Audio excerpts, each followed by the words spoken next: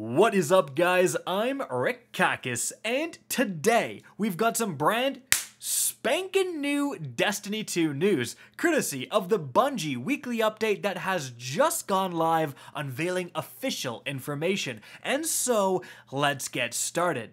And of course, the big thing to happen since the last TWAB was the release of the Vault of Glass raid over the weekend.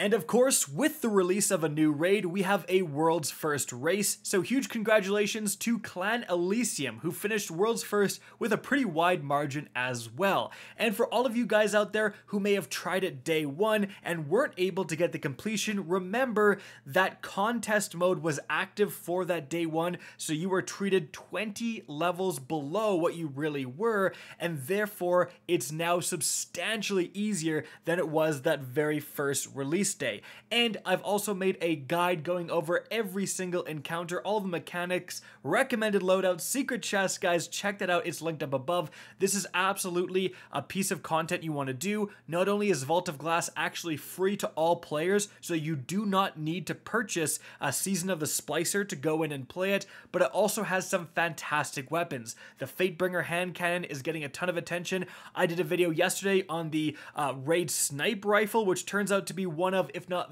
the best damage outputting snipers for PvE in the entire game thanks to its god roll. So absolutely hop in the Vault of Glass if you can. Check those LFGs. It is worth it. It only takes one team. It only takes one good team to get a ton of fantastic loot.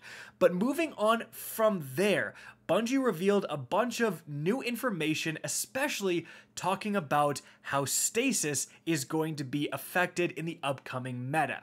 And guys, this is a big one. They bring forth Sandbox lead Kevin Yanes to talk about how Stasis has taken over PvP. He does say that we agree with many in the PvP community to say that Stasis is too dominant in the Crucible for too little effort or skill required. Now, first off, Bungie has a section called I Need a Weapon, where they explain that gunplay has taken a backseat to ability spam, saying that uh, for the future of Guardian versus Guardian combat, it boiled down to a few key pillars. Weapons are the primary way players engage with combat, non super abilities accentuate or augment the combat, but should rarely solve an encounter by themselves, and abilities have clear strengths, weaknesses, and counterplay. Build crafting is rewarding with the moment to moment combat loop of Destiny. They say behind the scenes, we've been executing on these pillars by planning out a roadmap of patches that we believe will not only get stasis to where it needs to be for PvP, but also sets us up to shift the PvP combat sandbox in a meaningful way towards more gunplay. So less ability spam, more actually having to use your guns. But of course, Bungie has a track record of saying they're gonna do stuff and then either not actually doing it or taking a hot minute to get it done. So they actually lay out this timeline for patches. They say our first patch in this roadmap uh, was released in March and was in development separately alongside Season 14. Unfortunately, due to pieces already moving at the time, some of the changes uh, that were made buffed stasis. For example, you can't Icarus dash out of being slowed, I believe, which you could before. However, the next patch is actually a hot fix hitting next week, and we'll talk about that in a sec. But after that patch hits, Bungie says they're going to put their heads down and focus on the next big patch that's going to go live with Season 15, which is the next season that launches around August 24th. So that is a while away. However, they say this is going to be a big patch that's going to focus on buffing the light subclasses so they can actually have a chance to compete with Stasis. Then they say after season 15, obviously things are a bit more nebulous. They're early in development for those changes, but they're going to look at ability, energy economy, and regeneration of abilities across the board. Interestingly, Bungie ends with after that, we'll be taking a long, hard look at the Void, Solar, and Arc subclasses to re examine each subclass path and how they fit into the combat sandbox.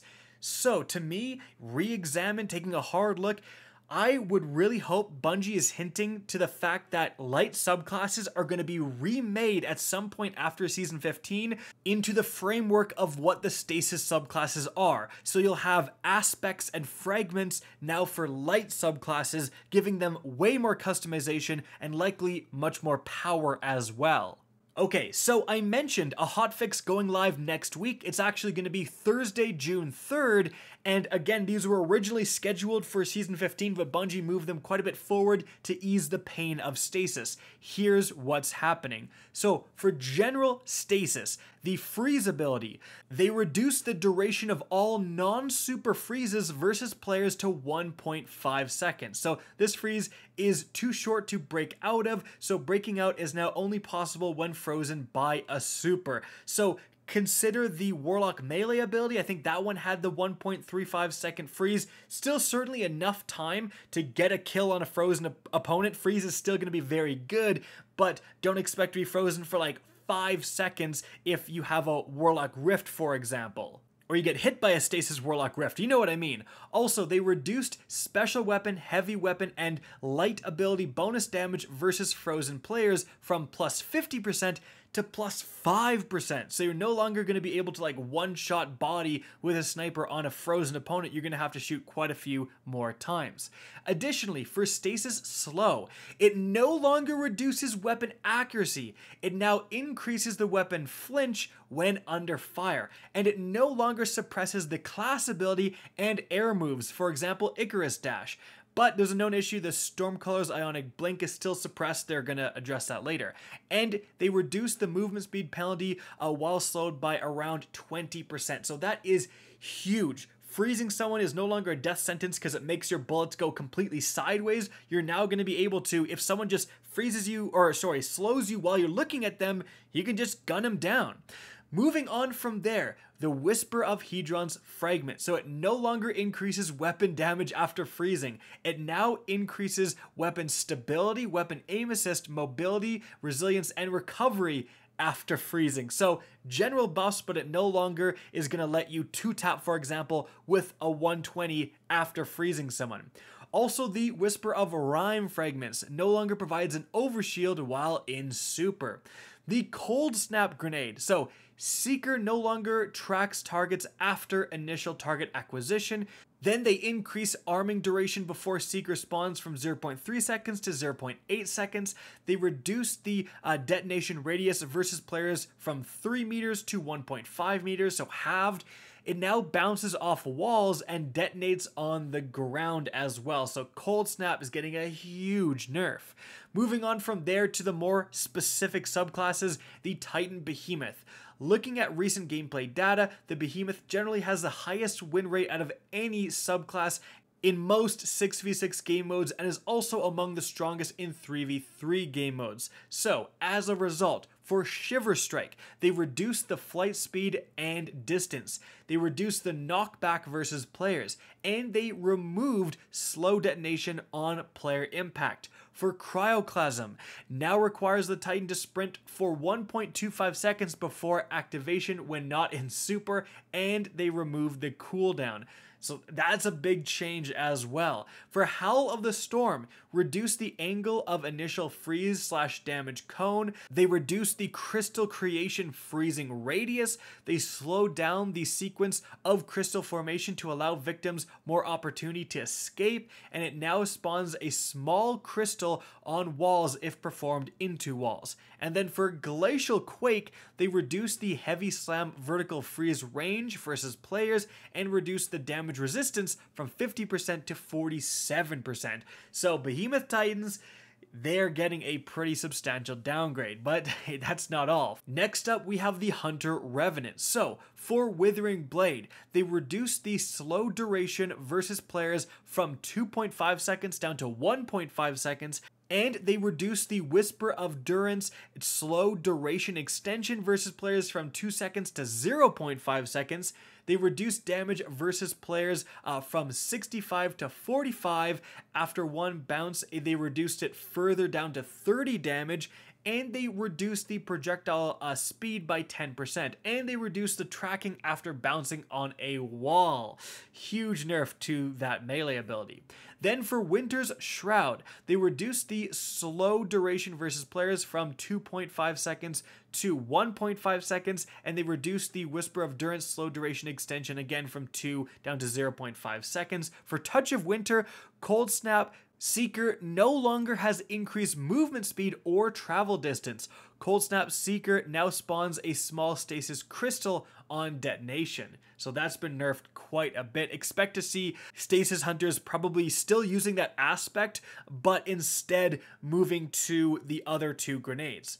Moving on from there, we have the Shade Binder. So, for Penumbral Blast, they reduce the tracking and proximity detonation size and tracking versus players. They reduce the freeze radius versus players while impacting the environment from 2.7 meters to 1.5 meters. For Ice Flare Bolts, Seeker now only chains once when spawned from an enemy player. That's a big change. For Winter's Wrath, the freezing projectile tracking now ramps down uh, to zero after two seconds of flight. So you're not going to be able to track people like 360 degrees around corners and stuff.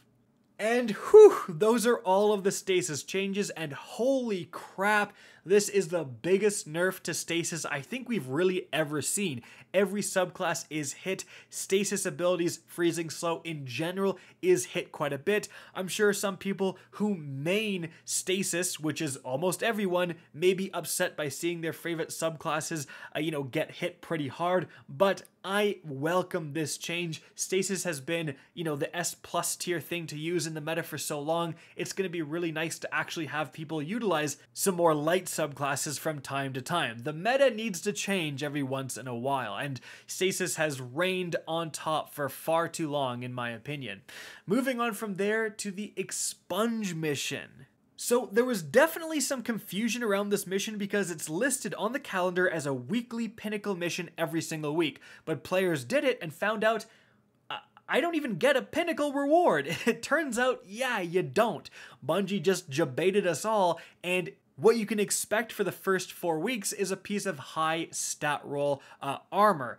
But starting June 15th, a new Pinnacle Activity Challenge will roll out connected to the Expunge mission, providing an additional Pinnacle reward source. So that's when you can actually get your Pinnacle from the weekly Pinnacle mission.